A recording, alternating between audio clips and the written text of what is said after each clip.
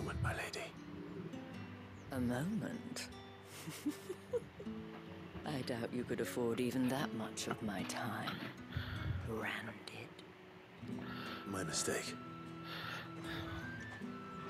No, mine. Upon reflection, you don't have the scent of a branded about you. The flowers.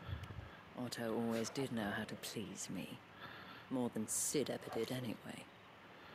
Do you think you could please me, Clive? You're the dame.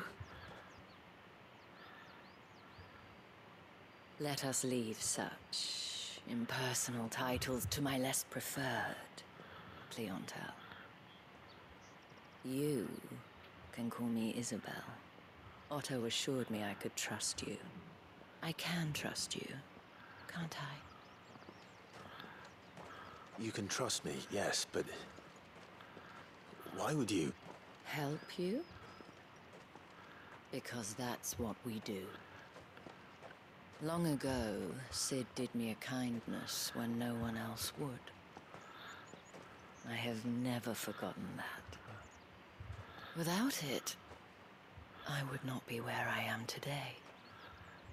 And so, I make it a point to do the same whenever possible. Which brings us here.